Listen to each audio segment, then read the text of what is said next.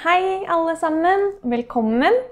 Mitt navn er Vilde, og i dag tenkte jeg vi kunne se på noen flere måter å si takk på. Altså andre måter å si takk.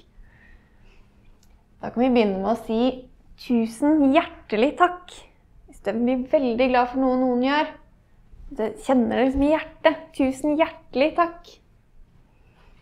Eller så kan vi si 'Jeg setter pris på det'. Jeg setter pris på det du gjør for meg.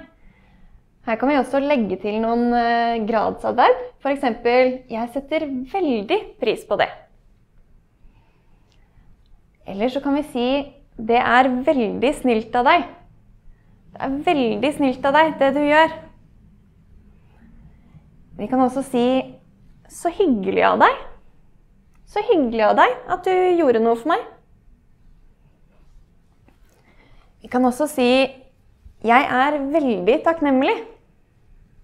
Jeg er veldig takknemlig for det du gjør for meg. Tusen takk.